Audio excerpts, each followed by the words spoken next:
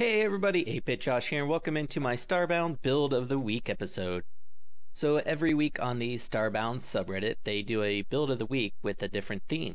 And this week's theme is a human refugee camp at like a Floran village, and it has a dark, sinister twist. The twist is that the Florans kill the refugees and make special drink from them.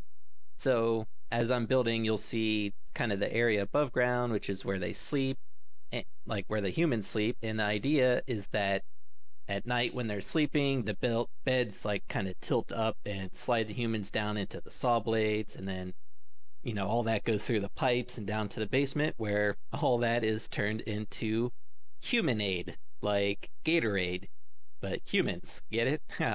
so anyway, um, there's a link down in the description to the Starbound subreddit and also a link to my post where if you go there, you just upvote my post.